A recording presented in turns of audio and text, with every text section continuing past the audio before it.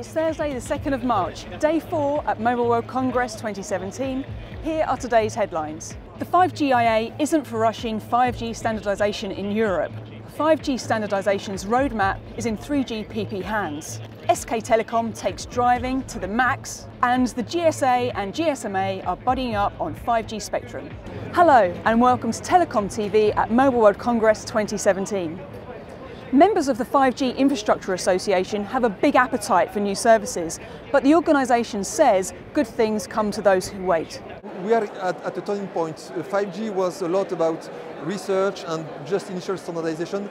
Now standardization is really taking up and 5G, 5G IA will be working also a lot on the trials, so getting some uh, proof of concepts, getting 5G becoming in the field so that we can get the, the real understanding of what will be the benefits of 5G. First, we believe that 5G, we need a significant step forward compared to 4G. So it's something that really needs to bring some additional performances and to really then get the benefit of that, we will do it, we need to get the, our hands on these technologies and that will come step by step. So we need, we need uh, new radio performances, we also need new uh, core network and we need new, we need new end-to-end -end performance and to really understand how to get the best use, use of all these, we need to progressively deploy them, test them, small scale, large scale, and at the end provide uh, good services to the customers. We are very attached to the respect of the standardization process uh, that uh, is being defined notably by 3GPP and ITU uh, for 2020 uh, full commercial launch. Uh, and it's the reason why we are coordinating this 5G uh, uh, trials roadmap strategy in order to encourage verticals and actors to uh, make real life trials and experimentations. But of course, we are keen that the standardization pro process does not delay and we will of course encourage standard bodies uh, to go as fast as possible in this process. And we also have launched a cooperation Uh, move with uh, other 5G uh, trade associations in the world, with uh, China, uh, Japan, South Korea, North America, and now Brazil, since we have just signed an MOU with the 5G Brazil Association, Telebrasil. So this international cooperation will also take an important role. And in end of May, we will have the third 5G global event that will take place in Japan under the umbrella of our counterparts of 5G MF in Japan.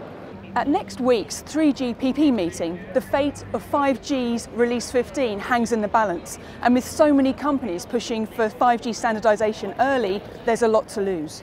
So we have multiple releases that are occurring that we're standardizing at the same time. We're completing release 14 and we're, we're sort of in the middle of release 15. Uh, next week, at a very important meeting, we're going to complete the requirements standards, and we're midway in terms of the, the architecture. And what we'll decide next week is the time plan and the contents of the new radio release. So the whole organization needs to come around that and determine what are our priorities. At the upcoming meeting, we're going to identify the goals and timelines for both the standalone and non-standalone architecture. The Contentious points, if there are any, will be on the contents of the release and the timing. We also have to make sure that we are able to move ahead with what we call forward compatibility and that the uh, non-standalone and standalone systems are compatible. There is certainly interest, quite a lot of activity, and we'll have to see what we can accomplish. 3GPP will has a, a process by which what we cannot complete in one release moves to the next. So we certainly will make excellent progress in this release. The pursuit of all things cool for SK Telecom is fast and furious as it showcases its 5G connected car designed in conjunction with Ericsson and BMW. Yeah, so SK Telecom as a mobile operator provides connectivity to the customers. So, and if you see at the uh, mobile uh, MWC event uh, here, then uh, uh, you can see that uh, many people are interested in connected car and autonomous driving.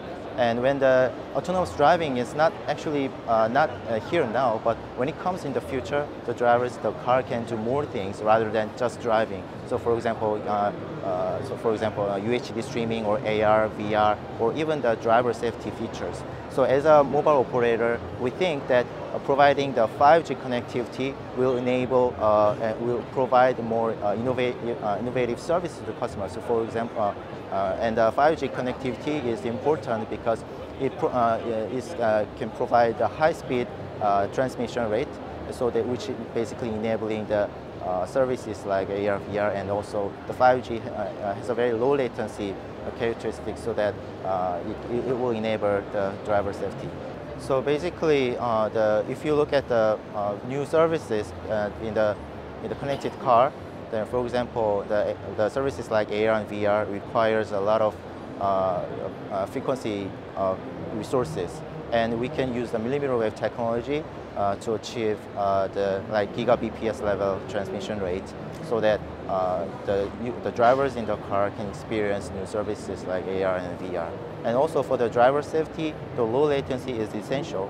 And uh, the 5G has a, is a new framework so that uh, it can the, uh, the transition time delay between the infrastructure side and the user side is very uh, the delay is very low so that it can help uh, uh, drivers alarm, for example, if there is an accident in front of him, and it can let the driver know that there is an, uh, you can give him an alarm so that he can prepare uh, and avoid the accidents. Actually, SK Telecom is a fast mover in this uh, effort. So we already had a, a, driving center in Korea, and we tested the mobility using the millimeter wave technology. So for example, we already achieved uh, groundbreaking record, for, uh, for example, 3.6 uh, Uh, gigabps uh, transmission rate uh, at the speed of as high as 170 kilometers per hour.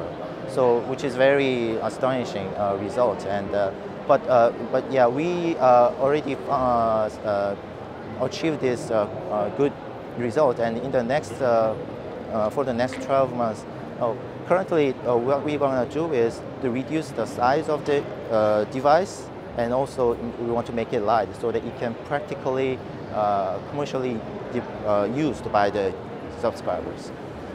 The need for harmonised spectrum for LTE-A and 5G is bringing the GSA and GSMA together. GSA and the GSMA have just signed a memorandum of understanding on spectrum. Uh, GSA set up its own uh, spectrum group uh, with our members uh, from the vendors last year, and that's been operating very, very well and effectively. Uh, but there are times when we need to cooperate with the operator group, the GSMA, on spectrum issues so that we get the best use of our resource and also we're not duplicating effort. And so we need to make sure that there is um, the timely availability of harmonized spectrum on a global basis so that we uh, uh, so that you know the services like uh, gigabit LTE and 5G can be met. There's going to be some big changes now as we're going towards that gigabit LTE and 5G and we're going to need uh, more coverage as we bring in uh, you know, the Internet of Things and things need to be connected uh, in, in remote areas.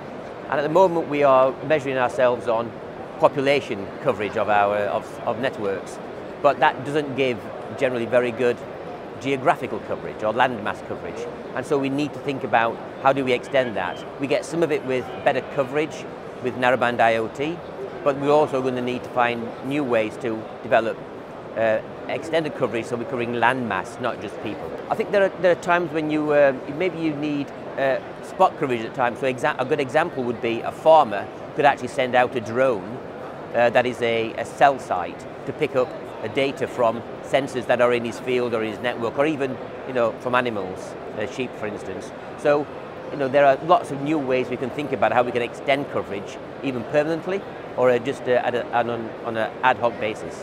That's all for today and indeed all week from Mobile World Congress 2017. From all the Telecom TV team here in Barcelona, thanks for watching, see you next year and goodbye.